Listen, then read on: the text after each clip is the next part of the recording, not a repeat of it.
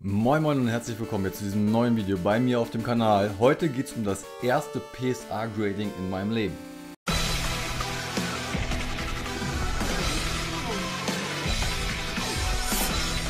Ja, und nachdem wir jetzt mit Beckett schon angefangen haben, gehe ich jetzt das erste Mal auf PSA. Ich schicke insgesamt fünf Karten ein. Das Ganze wird aufgeteilt auf zwei Videos und wir schauen mal, was dann wirklich rauskommt. Wir gucken uns jetzt die beiden Karten an, die zuerst auf jeden Fall zurückkommen.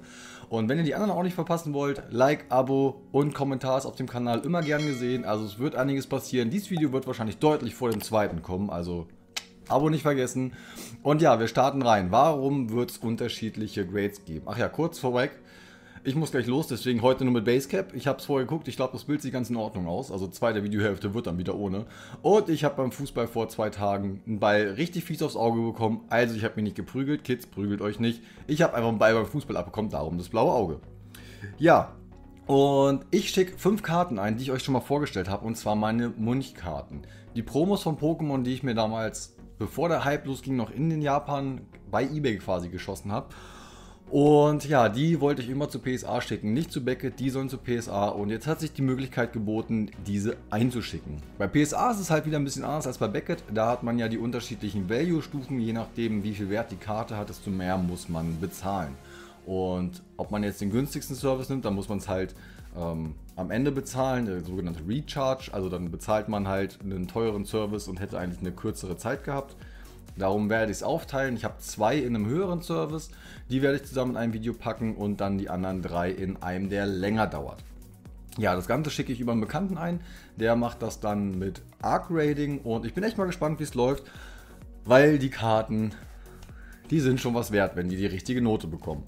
Und ja, wir starten mit der ersten der beiden, die heute in dem Video sind. Das Ganze soll dann nämlich ungefähr ein bisschen mehr als 30 Tage für beide dann dauern. Ähm, aber wie gesagt, dann sind die ja erst noch in Großbritannien, noch wieder zu der Person in Deutschland, von der Person wieder zu mir. Also ich hoffe, dass ich sie dieses Jahr wieder bekomme. Wir es mal so, dass das klappt. Und hier haben wir das Pikachu. Und das ist einfach eine wunderschöne Karte. Ich finde die Karten alle fünf so geil. Ich habe auch echt überlegt, ob ich die in einen Service stecke und entweder lange warte und den Recharge bezahle, aber das kann ich einfach bei den Karten nicht. Ähm, darum sind das einmal die hier. Und die sind eigentlich echt gut. Die haben hier so mini. Ne, sieht man das in der Kamera? Hier oben. So ganz, ganz mini Sachen. Also eine 10 wird es nicht werden. Ich habe auch schon 9 gesehen, die das haben, aber mindestens eine 8 wird es auf jeden Fall. Und Stand heute, ich habe da mal geguckt, weil ich ja den Wert einschätzen musste. Ich würde halt von einer 8 Minimum ausgehen, hoffen auf eine 9 und wenn es eine 9 wird, ist das eine Karte, die 1500 Euro wert ist.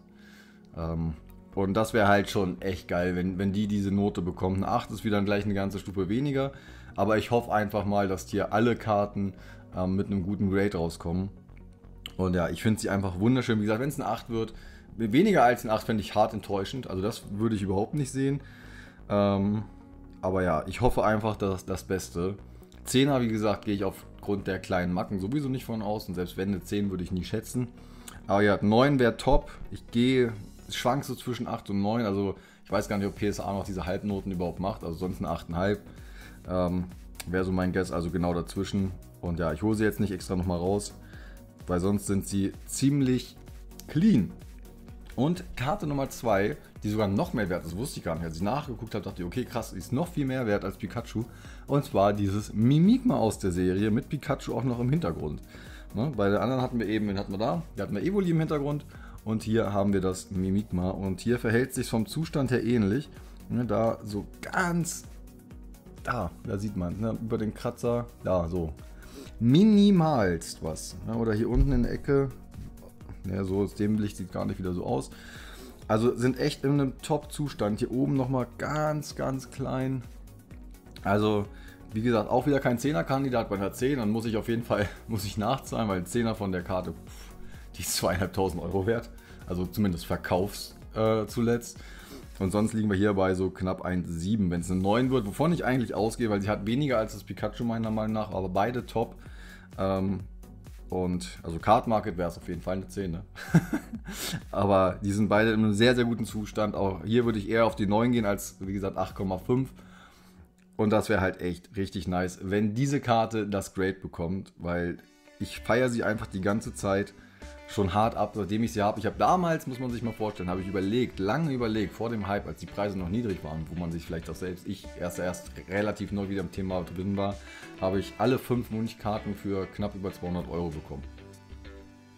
Allein die Raw-Karten sind halt schon so viel mehr wert und ja, Mal schauen, was jetzt am Ende rauskommt und wie schnell das Ganze geht. Also für euch zur zeitlichen Einschätzung, wir haben jetzt, was haben wir nicht? Wir haben jetzt genau Mitte Oktober, also den 16.10. Da gehen die Karten jetzt morgen auf die Reise. Und ich bin gespannt, was ihr jetzt gleich im Video seht und was ich hoffentlich dieses Jahr noch wieder in den Händen halte. Und ja, Zukunftsdelixa, sag uns, wie die Grades sind. Und jetzt sind die Karten wieder da. Ihr habt sie eben noch gesehen. Ich habe jetzt insgesamt fünf Monate auf diese Karten gewartet. Es hat ein bisschen gedauert, dadurch, dass die Submission bestehen aus fünf Karten, logischerweise die fünf, die zusammengehören. Ähm, Mimikma, Pikachu und die anderen drei waren in unterschiedlichen Service-Leveln bei PSA unterwegs. Und dadurch hat sich das ein bisschen verzögert. Mimikma war relativ schnell fertig. Pikachu hat länger gedauert als die anderen drei, die im Bulk-Level unterwegs waren. Darum kam jetzt am Ende alles auf einmal zurück und ja, ich bin sehr, sehr gespannt. Mein erster eigener PSA-Return ist schon was Besonderes und dann mit so besonderen Karten. Ich habe es euch am Teil 1 schon gesagt, ich habe die für knapp über 200 Euro geschossen damals. Heute ein vielfaches Mehrwert. Ich habe mir so die Price Ranges von PSA 8 bis PSA 10 mal ja, rausgesucht und angeguckt, damit ich weiß, okay, worüber reden wir eigentlich, was es würde. Ich hoffe, schlechter wird es nicht. Bei einer Karte bin ich gespoilert, das Mimikma. Erzähle ich euch gleich noch warum. Bei den anderen bin ich es nicht. Und heute gucken wir uns halt zusätzlich zu dem Mimikma noch das Pikachu an. Ihr habt es in Teil 1 gesehen. Und ja, los geht das Ganze. Dann haben wir nämlich hier dieses wunderschöne Pikachu. Wie gesagt, ich finde die Artworks nach wie vor durch diesen künstlerischen Effekt von Munch mit die, ich glaube, es sind die schönsten Promos, die es jemals gab, meiner Meinung nach. Ich finde sie halt so besonders und bin jetzt extrem froh, sie in einem Case zu haben, weil ich hatte immer ein bisschen Angst, dass sie kaputt gehen. Jetzt sehe ich hier gerade, hier scheinbar irgendein Dreck noch. Ich weiß, ich hoffe, das ist nur in der Folie und hat sich hier irgendwie reingesetzt und das kriege ich raus. Das ist nicht im Case, ist im Case wäre es halt echt blöd. Aber das muss ich mir nochmal angucken. Wie gesagt, so genau habe ich mir die Karten noch nicht angeguckt. Ähm, ich habe sie mir noch falsch rum ein bisschen angeguckt, damit ich halt nicht gespoilert werde. Und da ist mir aufgefallen, die sind alle ein bisschen locker. Weiß nicht, ob ihr das hört. Also sie sind sehr, sehr locker in dem Case, eigentlich alle. Ähm, ich, aber da sie nur rumstehen und jetzt nicht noch umgeschickt werden, sollten sie eigentlich keinen großen Schaden nehmen. Ja, Karten hatten wir uns zusammen angeguckt, also ich glaube, da kommt jetzt keine Überraschung. Ne? Die kann man vorher logischerweise deutlich besser sehen als jetzt. Und ja, das Pikachu. Ich habe gesagt, ich bin froh, wenn, wenn alle eine 9 werden. Ich habe sie teilweise schlechter geschätzt. Und ja, ich hoffe, ihr seid bereit. Ich bin es. Und wir haben Pikachu Mundpromo in einer neuen. Also genau das, was ich wollte. Sehr, sehr cool. Meine Freude ist ein bisschen verhalten. Ihr werdet gleich merken, warum. Aber eine 9 ist halt richtig, richtig cool. Diese Karte in, ein, in PSA 9 geht für knapp 1000 Euro. Eine 10 einfach das Doppelte, das geht für 2000 Euro. Aber eine PSA 9 Pikachus Mundkarte ja, in Mint. Also, was will ich mehr? Ich habe sie damals gekauft in Near Mint. Es hat einen, einen neuen mit Mint bekommen. Wie gesagt, ich hoffe jetzt inständig nur, dass dieser Dreck nicht im Case drin ist, sondern dass ich den einfach jetzt gleich irgendwie rausprüfen kann im Nachgang. Aber ja, eine wunderschöne Karte und die geht mit den anderen, wenn ich die Videos gemacht habe, direkt ins Bankschließfach, weil so eine Werte möchte ich einfach nicht zu Hause rumliegen haben. Das ist schon relativ ordentlich. Ja, aber das war nur die erste. Und jetzt kommt von den Mundkarten die wertvollste. Und hier kenne ich das Grade. Ich habe hier einmal das Mimikma. Und zwar habe ich über einen Bekannten das eingeschickt. Der hat diese Submission, der macht das jetzt nicht mehr, aber über Arc Grading eingeschickt. Und jetzt hat er einen anderen Partner, mit dem er es macht. Bin ich auch sehr froh drum, weil der aus Deutschland kommt und das ist wesentlich einfacher aus, was Versand etc. angeht. Und dann im Endeffekt für mich auch günstiger, das ist immer gut. Aber ja, die haben diese Karte gepostet und dann hat er mich, mir geschrieben, sag mal, möchtest du wissen, was deine Karte hat? Und dann habe ich nur gesagt, das ist nicht ernsthaft meine Mimikma-Karte, die die gepostet haben, oder? Also doch, das ist deine Karte. Und darum weiß ich, was es ist. Und es ist eine gottverdammte 10 geworden. Es ist eine PSA Mimikma Munch Promo PSA 10 Zieht euch das mal rein. Das ist sowas von heftig. Ey, bin da fast, ich habe die gesehen und dachte nur so, ey, es könnte deine sein.